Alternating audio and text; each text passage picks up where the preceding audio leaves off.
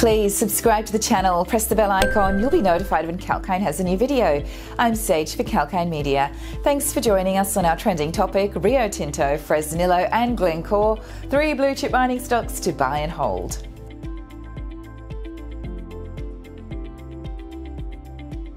In today's video, we'll review the investment prospect in three FTSE 100 listed mining stocks Rio Tinto, Fresnillo, and Glencore.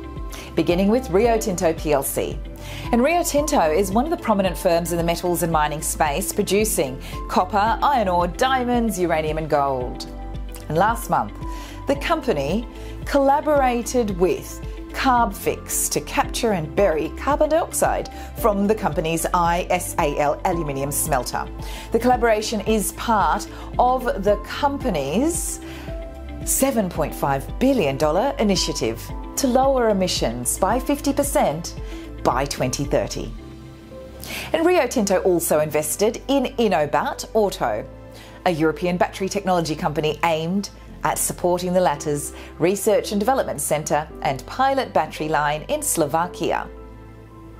And for the third quarter of 2021, Rio Tinto reported Pilbara iron ore shipments of 83.4 MT, while copper, aluminium, and bauxite production stood at 125.2 MT, 774 MT, and 14 MT, respectively. Fresnillo plc. Fresnillo is a leading precious metals mining firm.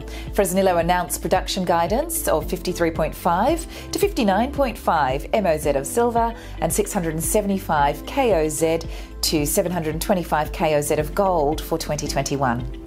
And Fresnillo reported the third quarter silver production of 12.7 MOZ down by 15.1% compared to the second quarter of 2021 due to lower ore grade at San Julian disseminated ore body.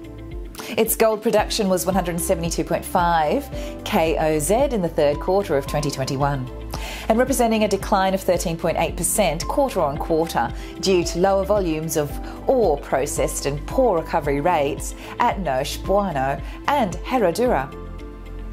Glencore plc and Glencore plc is a mining company and a commodity trading business with headquarters in Switzerland. And today it announced plans to suspend operations at its 100,000 MT zinc sulfide production facility in Italy for maintenance.